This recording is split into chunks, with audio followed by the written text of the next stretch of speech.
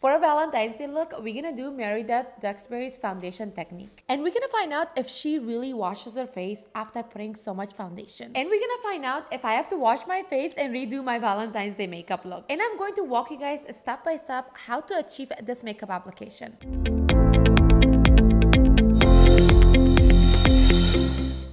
Hi everyone, welcome back to another video. Happy Valentine's Day to all of you guys. To achieve a flawless makeup application, you guys always have to remember to start with a clean, exfoliated, and hydrated base.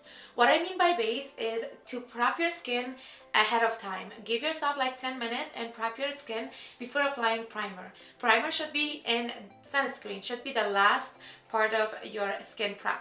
I already made a video on basic skincare routine or um, skincare prep before makeup application. I will tag it right here. Make sure to watch that. For primer, I'm to use from Makeup Forever. This is a Hydro Booster Primer and it's like a 24 hour wear. Uh, lately has become one of my favorite primer. It literally sticks the makeup on your skin and it does not move. So based on watching these videos, it does look like she starts with a very flawless skincare. Before every makeup application, I use one of these.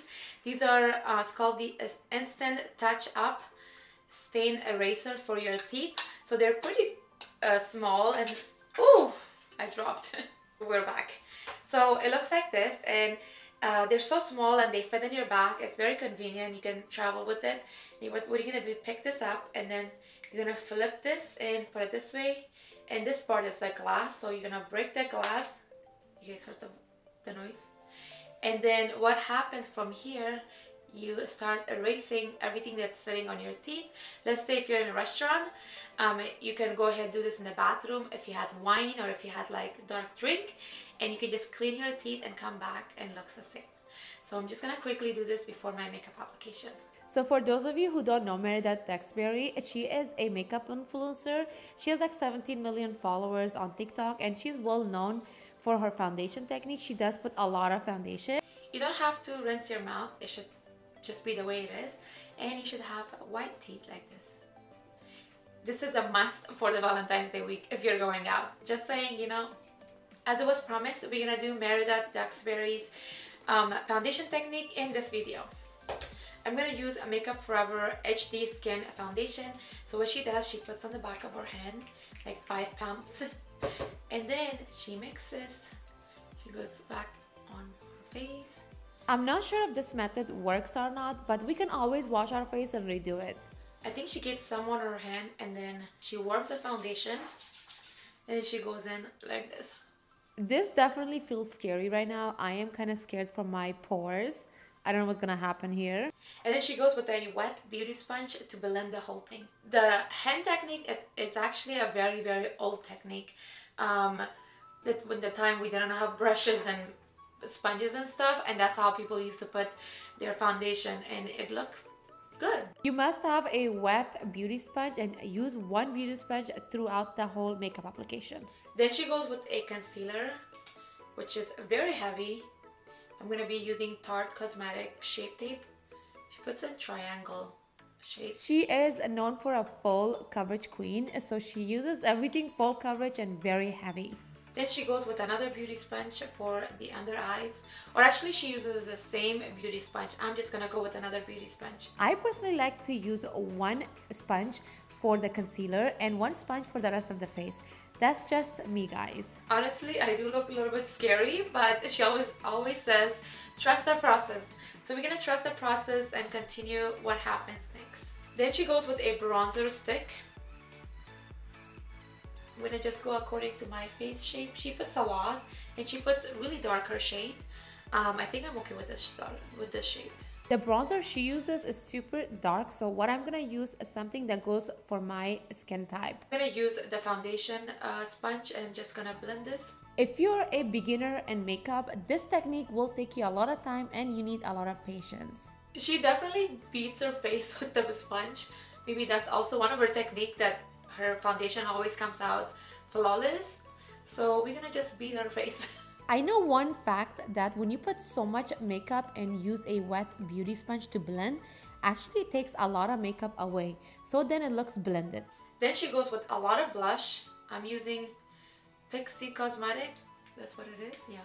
So the first part of this foundation technique is all cream products. She also blended the blush with a sponge. Then she goes with a cream uh, highlighter. At this time, I want to go wash my face and start all over with something simple. But since we're makeup lovers, we're gonna trust the process. She uses a baking powder to bake her under eyes and the rest of her face with the same powders. So I'm gonna use Makeup Forever um, translucent powder or setting powder and it comes with a cute little pouch. So we're just gonna do that. I took a big risk for Valentine's Day for trying this method. I hope this comes out good, otherwise I'll be super super mad guys. Now we're gonna bronze with this palette from um, Too Faced Cosmetics. So everything that she applies with cream format, she goes back and apply everything the same thing but more with a powder format to make everything look defined and snatched. If you want to know how to bronze your face, always start from here and go in a shape of E like this and then go back out like this. That gives that E um, method of bronzing. Now I'm gonna go with a powder blush and I'm just gonna use, this is Benefit Cosmetics. Since it's Valentine's Day, we're gonna put a lot of blush and a lot of pink and a lot of red. So far the look is kind of giving now and I think I'm okay with this. But I need to do my eyeshadow ASAP so I can breathe. I usually like to take my blush around my eyebrows so when I do this on the higher um, cheekbone I just take it up like this. I just like that C shape. Then of course I like to apply some on my nose. I need a little bit more pigment so I'm using the Chanel 430 I can't even pronounce that name. Chanel is so hard to pronounce. Like all their names are so like French. Okay I love this. I love this blush. It's so pigmented you guys notice I don't put blush right here. I always put my blush right here. I just love it that, that way. Now we're gonna go with some highlighter from Rare Beauty and we're just putting it right there. Look at that. So beautiful, right? I love, love Rare Beauty. So gorgeous. I personally love a lot of blushes and a lot of highlights. So if you ever see someone outside blinking, for sure, you know, that's me. I also forgot to tell you guys, I usually put a setting mist right after a primer. It helps to hold my makeup longer. So I did that, but I think I didn't record it. So I'm just letting you guys know. Then I go with the same mist again once my makeup is done. So it can hold my makeup and it doesn't move and it doesn't crease and stuff till I finish my eyes. No kidding guys, I take shower with setting sprays. It smells so good. this is from Makeup Forever. It's called Mist and Fix.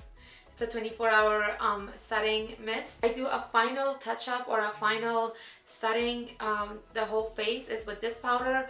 I use like a bigger brush and I just go in between where I didn't apply any kind of powder. So like right here, right here, around my mouth. And making sure everything is blended and buffed out also, if your contour uh, powder or your blush powder just looks too much or too heavy, you can always go back with this powder and you're gonna just go around the, uh, powder, the blush and you're just gonna blend the edges and like cover a little bit. It becomes way less than like how it was originally. This is just another way to fix if you make any mistakes. You don't have to remove the whole thing. Next is my eyebrows. So usually I like to remove everything that's up um, on my eyebrows just powder foundation is sitting there. I don't like to go in with product because then it becomes really tacky and just looks so full uh, with like products. So I use a Q-tip with micellar water and I just go clean the, um, the surface of my eyebrows.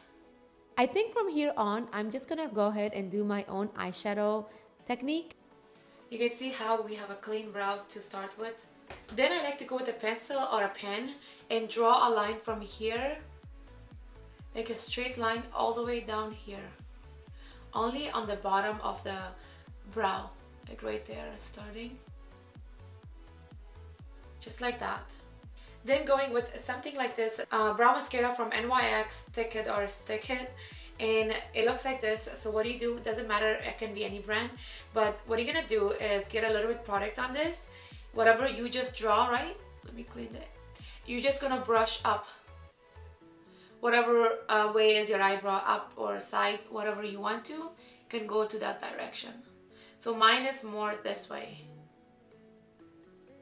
And what this does, it blends the line at the bottom. At the same time, it just puts some hair strokes on the top so that it can look even out.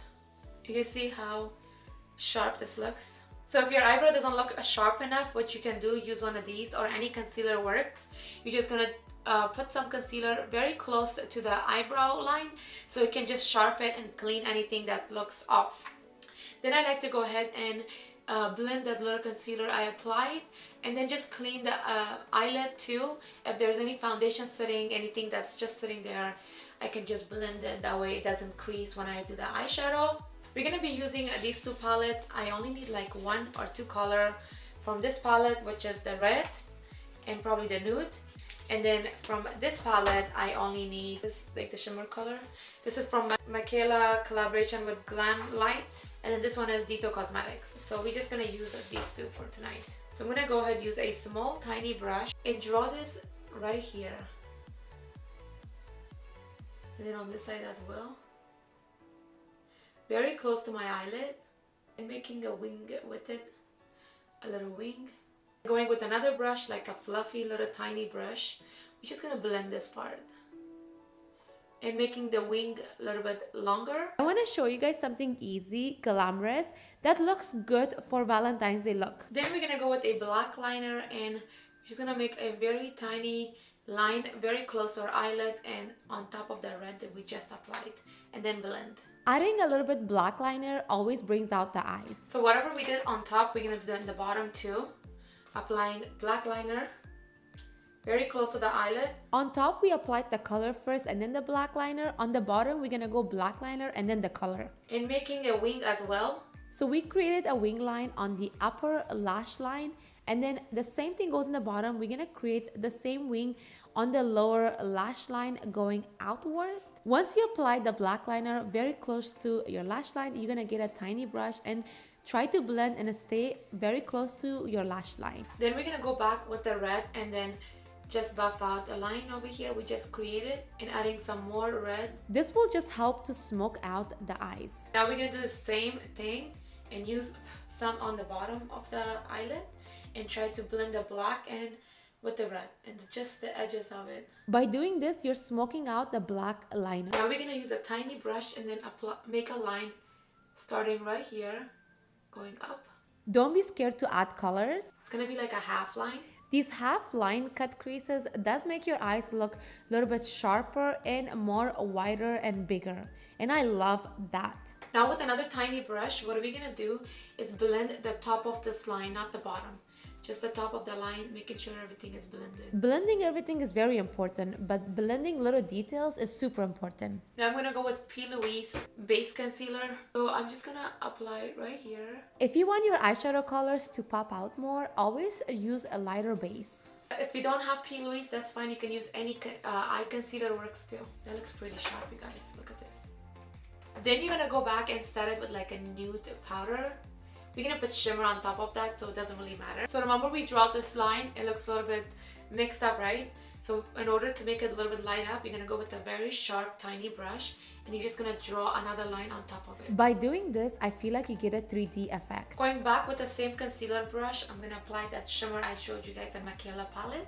And we're just gonna put shimmer all over where we applied concealer. This is more like half cut crease and not a full cut crease. So don't be afraid to add colors, add shimmers, be creative, have fun. This is more like art, just like every other art. Now we're gonna create that cut that's in between that top liner and the bottom liner. So what we're gonna do, use a very, very, very tiny brush and use some white concealer or P. Louise concealer works. And then we're gonna draw a line going up and then a line going down. So we have that little wing in the bottom. Basically, we're creating like a fish tail wing by adding a white liner or a concealer and between those two lines we just created. Now to sharpen the top line and the bottom line, we're gonna use a black liner and we're gonna keep it very close to the eyelid. So I'm just going back with the black liner, sharpening out the lines and creating the inner corner wing. Okay, so off camera, uh, my, my camera died. off camera, I went and finished the black top liner and then the white liner on the waterline and just fixed a little bit details on the bottom like how I blended the black liner all the way to uh, inner corner liners so it just depends how you want to do it and also um, details are important just a little bit coloring and like just sharpening things and uh, buffing it out. It just makes it really nice. So now we're gonna jump into the mascara part. I'm gonna apply this mascara and then apply a lash. I probably do the lash off camera though. I feel like the look is coming out and I want to know what you guys think. Is this something I could wear for Valentine's Day? So I'm going to be using this lashes from Kiss product and this one is called Disco. This is the Mary Dot Duxbury collaboration with Kiss product. I'll be right back. I have to do it off camera guys. The other lashes was like just too much and it was covering my whole eyelid. So I went with something that's a little bit lower so we can see the style of the eyeshadow and it's also like that wing type of a lash so it looks really really cute and this one is from MAC Cosmetic and it's like really it's like a type of lash where it goes out. I'm gonna use MAC Cosmetic liner this is in the shade oh that's not MAC sorry. That's NYX Alabama and then we're gonna use Rare Beauty Inspire lipstick. It's Valentine's Day so we're gonna go for a red look. As a makeup influencer I try different looks and different lipstick colors every single day. And if you're not a influencer and you get the chance to try a lipstick, especially red, once a year on Valentine's Day, why not go ahead and try it and rock it? Uh, this look looks so gorgeous. I can't wait. I'm gonna go fix my hair. I'll be right back. You guys, this look is exactly what I wanted for Valentine's Day look. I think I'm gonna go with this you guys watch my story. I think I'm gonna go with this look. Wow, everything looks amazing. The combination of the colors, the red top, the red lipstick, the red eyeshadow. Wow, I'm so surprised. It came out so cute. If you guys recreate this look, make sure to, to tag your girl. I'll be, I'd be more than happy to see what you guys created. And let me know in the comments, what are you guys gonna do for a, a Valentine's Day? I am going to this place for Valentine's Day on the beach. I'm going to show you guys a picture here. I still don't know what to wear because it's the beach. It's super, super cold. And it's super cute. I wish it was in the summertime so I could look like this. But I think I'm to wear like a coat over this and I'm gonna give you guys a couple of model shots. Mary Dot foundation technique went successful. We didn't have to wash our face. I love you guys. Thank you so much for watching. If this video was helpful to you, and anyways, give your girl a big thumbs up and subscribe to my channel if you're new. I'll see you guys in my next video.